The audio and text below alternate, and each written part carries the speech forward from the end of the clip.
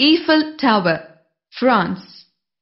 The Eiffel Tower is an iron tower built on the Champ de Mars beside the Seine River in Paris.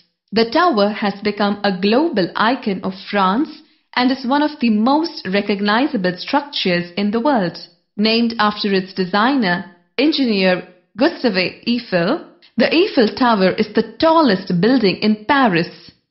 The structure is 324 meters high. The metal structure of the Eiffel Tower weighs 7,300 tons, while the entire structure, including non-metal components, is approximately 10,000 tons. Pyramid Egypt A pyramid is a building where the outer surfaces are triangular and converge at a point.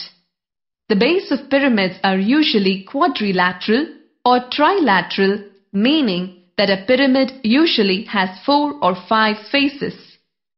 The most famous pyramids are the Egyptian pyramids, huge structures built of brick or stone, some of which are among the largest man-made constructions. It is one of the seven wonders of the world. Lotus Temple, India The Baha'i House of Worship in Delhi India, popularly known as the Lotus Temple due to its flower-like shape, is a Baha'i house of worship and also a prominent attraction in Delhi.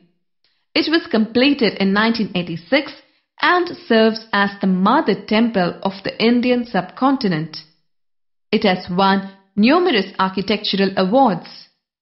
The Baha'i laws also stipulate that only the holy scriptures of the Baha'i faith and other religions can be read or chanted inside in any language, while readings and prayers can be set to music by choirs, no musical instruments can be played inside.